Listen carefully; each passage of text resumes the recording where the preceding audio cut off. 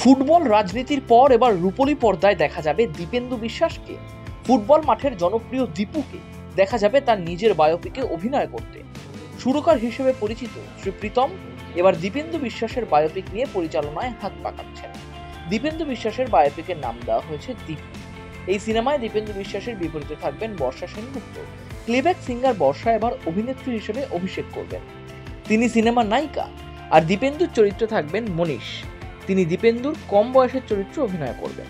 তিনি এবার টলিউডে হিরো হিসেবে পা রাখবেন। তবে সব থেকে বেশি নজর কাড়বেন অভিনেতা দীপেন্দু। ফুটবল মাঠে বল পায়ে তিনি কতটা ভয়ঙ্কর হয়ে উঠতে পারেন, সেটা কলকাতা ময়দান জানে। কিন্তু তিনি ক্যামেরার সামনে কতটা দক্ষ, সেটা এবার দেখার। এই ছবিতে উঠে আসবে দীপেন্দু বিশ্বাসের জীবনের অনেক অজানা গল্প। যেসব ঘটনা আজও মাঠ কাঁপানো ফুটবলার দীপেন্দু বিশ্বাস ভুলতে পারেন না, সেই সবই উঠে আসবে ছবিতে। ফুটবলার দীপেন্দুকেই নতুনভাবে চেনার সুযোগ পাবেন দর্শকরা। বাংলা এবং ভারতীয় দলেও খেলেছেন দীপেন্দু। তার ট্রফি ক্যাবিনেটে রয়েছে একাধিক Kolkata League, IFA Shield Durand Cup, Rovers Cup, Federation Cup ও জাতীয় লিগ। বাংলার ময়দানে দুধে ডাকাবুকো গোল শিকারীদের অন্যতম তিনি। তাকে মাঠে যতটা দেখা গিয়েছে, তার মাঠের বাইরের জীবন নিয়ে আগ্রহ কম নয়।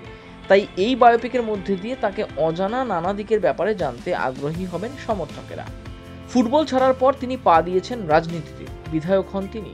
তিনি অবশ্য এখন রাজনীতি থেকে দূরে রয়েছেন। ফুটবলই তার ধ্যান জ্ঞান বৃহস্পতিবার কলকাতা ক্রীড়া সাংবাদিক ক্লাবে আনুষ্ঠানিকভাবে ঘোষণা করা হলো সিনেমাটি। অনুষ্ঠান উপলক্ষে দীপেন্দু বিশ্বাস ছাড়াও উপস্থিত ছিলেন পরিচালক শ্রী প্রীতম ও অন্যান্য কলাকুশলীরা। দীপুকে নিয়ে ময়দান আবার তোলবার সেটা হচ্ছে ছবি। না না। দিকে যখন দেখছি একদম সামনেই কলকাতা লিগ ডার্বি মানে সেটাও একটা উত্তেজনা আছে ডার্বিতে দেখো ডার্বিতে আমার যেটা ভালো লাগছে যারা নতুন তারকা আসবে কোনো বিদেশি হবে না। দেশীয় তারকা এই ডার্বি থেকে উঠে আসবে এটা আমাদের কাছে স্বস্তি ভালো এবং আনন্দ। আর এই ছবিটা দীপুকে আমরা সবাই পাচ্ছি। ময়দানের একটা হ্যাঁ দেখা। দেখা ভালো হবে আশা করি। তোমার আশাটা কি? ভালো হবে আশা করছি। কোন কোন জায়গাটা তোমার মনে হচ্ছে যে তোমার যারা দর্শক তোমার যারা দেখো খেলাটা দেখাতে হবে লড়াইটা দেখাতে হবে। ওইসব গান নাচ বা রোমান্স দেখানোর থেকে আমাদের জীবনের লড়াইটা দেখালে ও সাকসেস পাবে দীপু তো শুধু প্লেয়ার ছিলেন না তিনি কখনো একটা রাজনৈতিক ব্যক্তিত্ব হ্যাঁ রাজনীতি আছে আমরা অ্যাডমিনিস্ট্রেটর আছে মোহামেডান স্পোর্টিং সব আছে। তোমার জীবনের উঠে আসাটা কোন মুহূর্তটা? সেটাও আছে। কোন মুহূর্তটা তোমাকে বেশি আকর্ষণ করছে বেশি আমরা টিএফের হয়ে খেলা টিএফএতে চান্স পাওয়া ওগুলো স্ট্রাগলটা কীভাবে দেখছ তুমি? পুরোটা বলেছি আমরা ওদের ওরা সেটাকে সুন্দর করে খেলে। ডার্বিতে কাকে এগিয়ে রাখছো? কেউ এগিয়ে নেই। এই ডার্বিতে আর নতুন তারকা হবে যেই হবে ভালো হবে। বাঙালি হলমুখী হচ্ছে না কিন্তু যে মানুষটাকে আপনি তুলে ধরতে চাইছেন বিশেষত একদম অন্যভাবে মানে ফুটবল প্রেমী হিসেবে কি মানুষ আপনার এই ছবি দেখতে আসবেন? প্রথম কথা এই ছবিতে দীপেন্দু বিশ্বাসকে একটা অন্যভাবে মানুষ পাবে এতদিন যেভাবে দেখেছে। দীপেন্দু আর জীবনে না বলা না জানা সব অনেক কাহিনী আছে ছবিতে।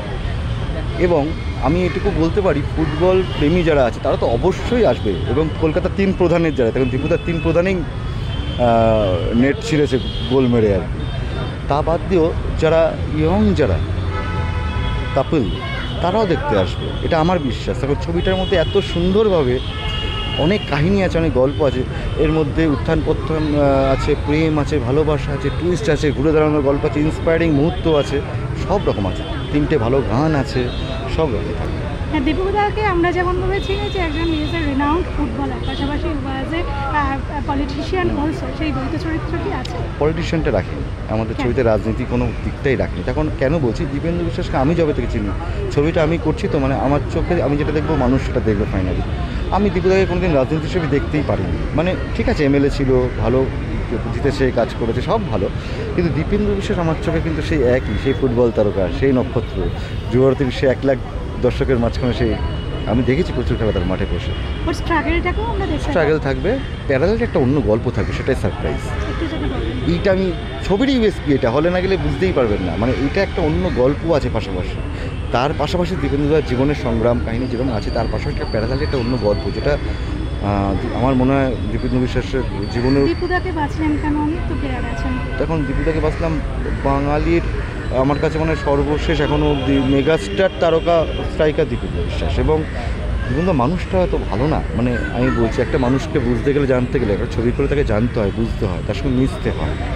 তো সুতরাং দীপুদা এত একটা ভালো মনের মানুষ সেই জায়গা থেকে দীপুদার সঙ্গে বন্ডিং আমার অনেক বহু বছরের। সেই জায়গা থেকে আমার এটা পরম পাওয়া। যে আমি মাঠ থেকে যখন বললাম না একটা চোখে বসা হিরো হিসেবে তখন থেকেই তখন থেকে একটা ভাবনা ছিল। মাঠের ছেলেকেই যখন তুলে ধরছেন আগামী দিনে মাঠ নিয়ে কি কাজ করবেন খুব ইচ্ছে খেলা নিয়ে ময়দান নিয়ে কাজ করার। মানে দীপেন্দু বিশ্বাসের ওপর যেরকম দীপু হচ্ছে ভবিষ্যতে আমি যদি সুযোগ পাই এরকম অনেক চরিত্র আছে আমার মাথার মধ্যে যে আমি তাদেরকে নিয়েও ছবি করতে চাই। তোমার চরিত্রটা কি আমি দীপুর ক্যারেক্টার প্লে করছি। দীপু তো ভালো একজন প্লেয়ারও ছিলেন রাজনৈতিক ব্যক্তিত্বও ছিলেন।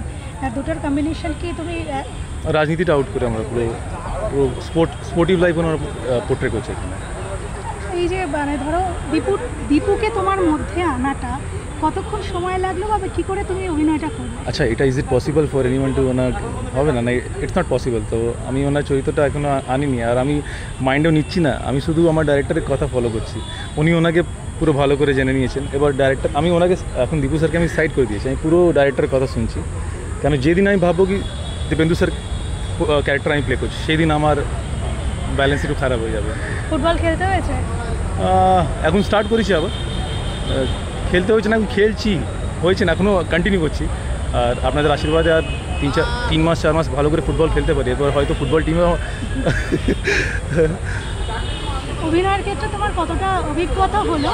কারণ যেহেতু তুমি এমন একজনের ক্যারেক্টারের মধ্যে ইনভলভ হয়েছো, তার মধ্যে একজন কি বলব প্লেয়ার সত্তাটা রয়েছে।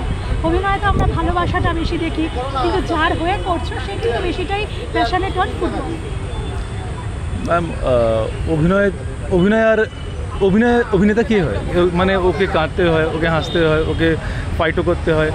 তো মানে টেন ইয়ার্স আমি মুম্বাইতে দিয়েছি। এখন কলকাতা আসার পরে মানে এত ভালো ভালো একটা সাবজেক্ট পেয়েছি আর এত ভালো গাইডেন্স পাচ্ছি।